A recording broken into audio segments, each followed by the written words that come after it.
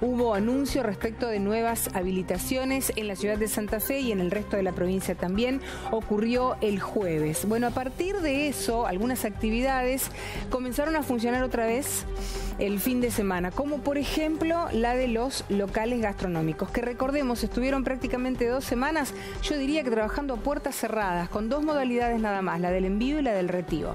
Los empresarios del rubro se mostraron contentos con esta posibilidad, aunque admiten que esperan recuperar a todos los clientes noche en la ciudad donde rigen nuevas restricciones para circular, pero donde se permite que la gente salga. Vieron los locales gastronómicos y así lo vemos, llenos de santafesinos. La mayoría eligió sentarse en lugares al aire libre, veredas, balcones gastronómicos o terrazas. Te contamos cómo están los protocolos en este momento.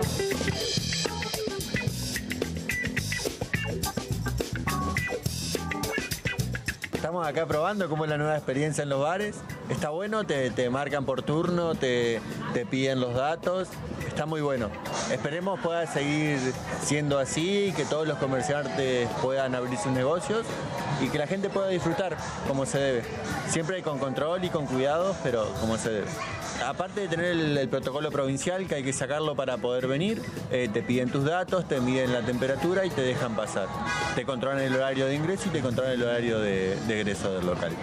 ¿Explicaron cuando se enteraron que habían habilitado otra vez los bares? ¿Había ganas de juntarse por lo menos a tomar una cerveza?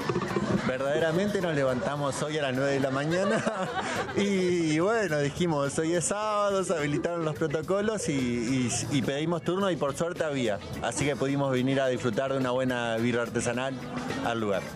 Los vimos llegando con el barbijo, cumpliendo todos los protocolos. ¿Tenían ganas de salir hoy?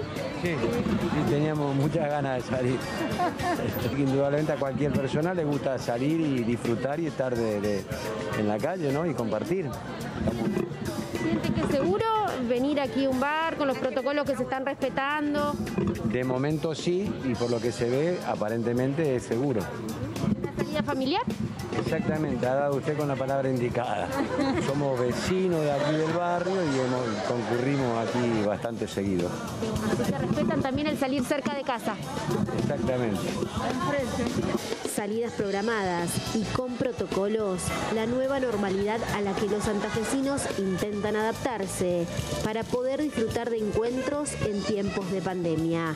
Una reapertura muy esperada por el sector gastronómico que reorganiza su dinámica en función de las nuevas exigencias. Con mucha expectativa y con, bueno, con unas ansias casi de supervivencia, la verdad, porque el sector está muy golpeado después de, esta, de esta situación que nos interpela, esta coyuntura. Así que bueno, eh, tratando de cumplir con todo, con todas las de la ley y convocando a la gente que lo haga de, de, ese modo como para, para que bueno, podamos disfrutar y compartir y hacer lo que tanto nos gusta, que, bueno, tiene que ver con nuestra cultura gastronómica, cervecera y, bueno, aquí estamos.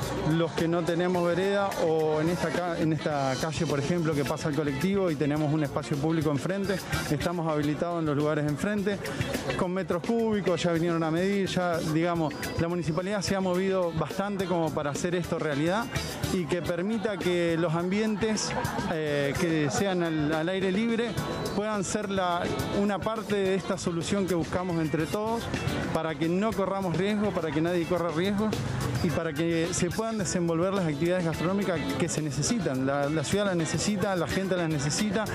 En este primer sábado de reapertura, los jóvenes fueron los que más se animaron a salir, organizándose en grupos de no más de cuatro, haciendo reservas previas. A las cervezas y tradicionales picadas también se suman los barbijos en la mesa que deben ponerse los clientes si se mueven del lugar. Ya veníamos saliendo antes de que pasara lo de los 15 días y ahora volvimos de vuelta al ruedo. ¿Se sienten seguras saliendo a bares con todos los protocolos que se están llevando adelante? Sí, nos sentimos bastante seguros. ¿Hijos lo tienen a mano? Los tenemos a mano. En el... ¿Esto por si se mueven alguna parte del bar o van al baño les explicaron que se lo tiene que poner? Claro, sí. Eh, a mí me parece que en parte la responsabilidad es mitad y mitad. Una parte del bar y otra de la gente que, que se tiene que cuidar también con la distancia, barbijo, limpieza. Así que nada, es algo con lo que vamos a tener que convivir, lamentablemente. Esto es un antes y un después sinceramente, más allá de los protocolos y que uno quiera cuidarse y todas las medidas que tome, también quiere un poco de vida social. Eso es obvio. Y es como que hoy, después de los 15 días esto, se levantó la barrera, como que salieron todos, ¿viste? Era lógico que iba a pasar. ¿Era un turno para venir?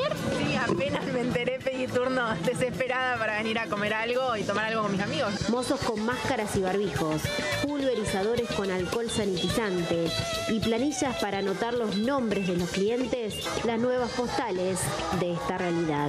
La verdad que ahora lo estamos respetando más que nunca, obviamente con toda la protección, tapaboca, máscara y más que nada por el cuidado de nosotros y de la gente. La mayoría sí ya está al tanto de las medidas y en el caso o sea, que no esté, se le sugiere o tratamos de cuidarnos entre todos. Los protocolos son capacidad máxima por mesa, cuatro personas.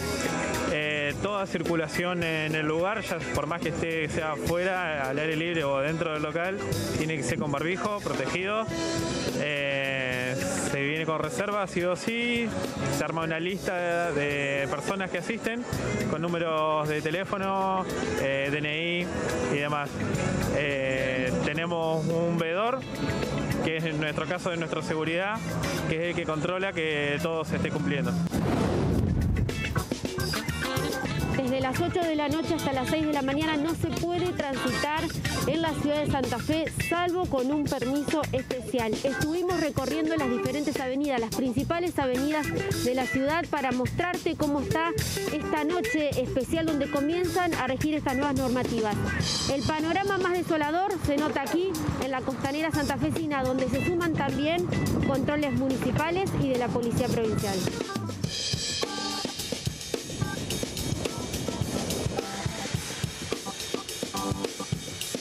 Reducida cantidad de vehículos en las calles y taxistas que notaron que aumentó la demanda del servicio. Un poco de movimiento ya se vio con los bares abiertos. No mucho flujo de autos.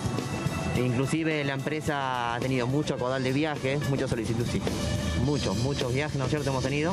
Entonces, eso te da a entender, ¿no es cierto?, que la gente algo va entendiendo, digamos, de que no, no hay que salir si no es necesario, digamos. Si salís a comer, vas a cenar y volvés a tu casa, digamos, eh, entre todos. El norte muy poco movimiento, lo que sí, bueno, se notó el movimiento de, Boulevard que estaba apagado, digamos, Boulevard, que bueno, le queda muy poquito, ya a las 12, digamos, una hora, en una hora ya digamos empiezan a cerrar los bares y, y empieza de vuelta a apagarse movimiento.